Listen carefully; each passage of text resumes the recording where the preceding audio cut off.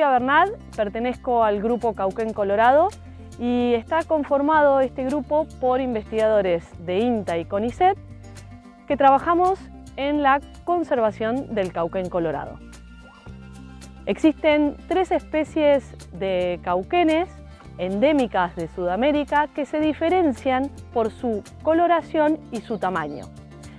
Las tres tienen un grado de peligro en conservación y sobre todo el cauquén colorado está en peligro crítico de extinción ya que quedan 800 individuos en el continente. Estas especies de cauquenes dividen su tiempo entre el sur de la provincia de Buenos Aires y la Patagonia argentina y chilena.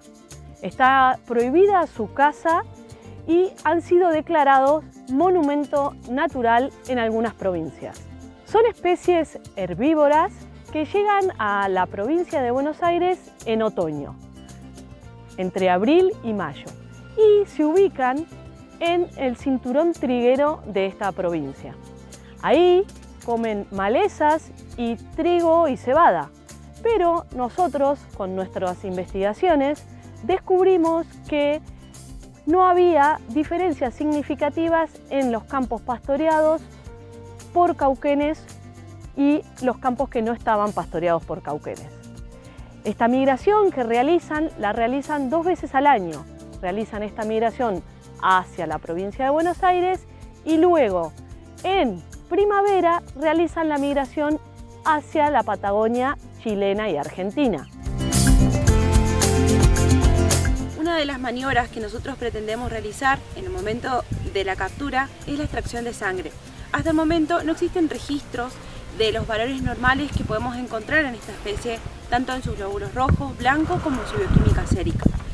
Esto nos va a poder determinar el estado sanitario que estos animales tienen previo a su migración y después poder hacer algunas comparaciones y sobre todo determinar los valores normales para la especie.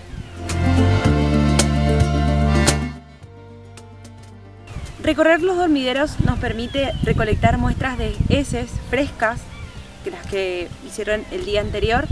Esto nos va a permitir conocer una, o determinar la población parasitaria, la fauna parasitaria que estos animales tienen, que todavía no hay registro hasta el momento. Para conocer su ruta migratoria, capturamos individuos de Cauquén Colorado en la provincia de Buenos Aires con trampas lazo y los equipamos con aparatos satelitales. Con ellos descubrimos que los cauquenes colorados hacían su migración muy cerca del agua, cercano también a parques nacionales, hacían sus paradas migratorias en los parques y además descubrimos que estas paradas eran a lo largo de los años eran las mismas. Por lo tanto, vimos que en estas rutas migratorias podía haber un conflicto con las torres de alta tensión, con los parques eólicos y con alguna otra infraestructura humana. Para ello, entonces, nuestra próxima línea de investigación, y es la que estamos desarrollando en estos momentos, es ver el impacto de los parques eólicos en la ruta migratoria y en las paradas migratorias del Cauquén Colorado. La Argentina tiene un compromiso para el 2025 de cambiar su matriz energética a energías renovables en un 20%.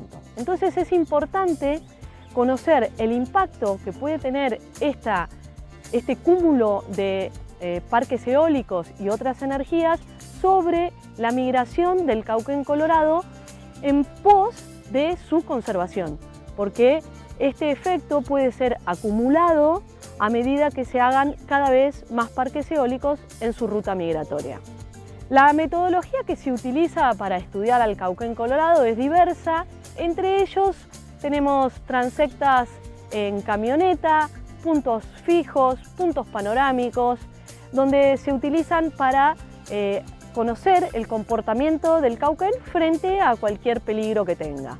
Este trabajo no lo podríamos realizar solos, sino que tenemos ayuda y apoyo de numerosas instituciones, entre ellos parques nacionales, empresas privadas, ONGs, ministerios, secretarías de gobierno que nos dan los permisos habilitantes para hacer las capturas de los cauquenes.